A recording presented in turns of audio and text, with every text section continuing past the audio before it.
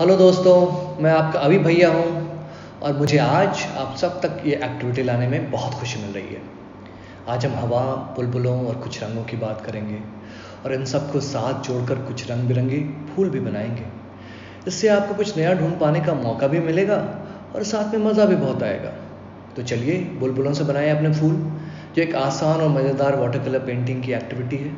अच्छा सबसे पहले तो आप एक जगह अपनी कमर सीधी करके बैठ जाए। और एक गहरी सांस लेकर उन तीन बातों को सोचें, जिनसे आपको आज खुशी मिली होगी। जैसे आज मुझे इन चीज़ों से खुशी मिली।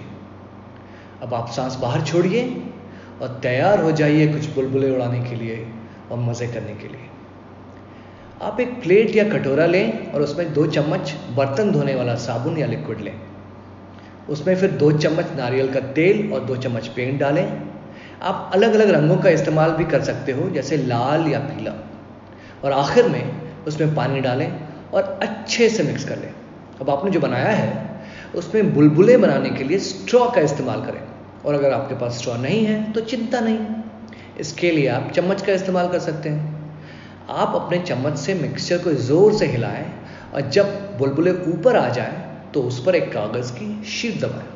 याद रहे शीट को पानी में नहीं डुबोना है। सिर्फ़ बुलबुलों से छुलाना भर है।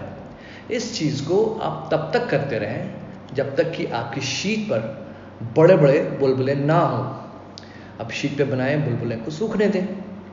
आप देखेंगे कि ये बुलबुले फूलों के गुलदस्तों की तरह दिख रहे हैं। अब आप एक अलग शीट पर कुछ पत्ते बना लें और उसमें भी रंग भर दें। जब एक बार सब सूख जाए तो पत्तों को काट लें और फूलों के अगल बगल चिपका दें।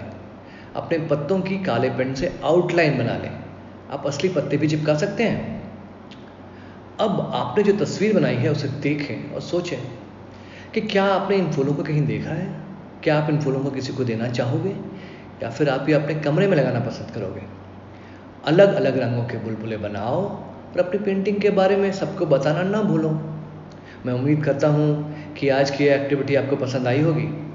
फिर जल्द ही मिलने के वादे के साथ नमस्कार।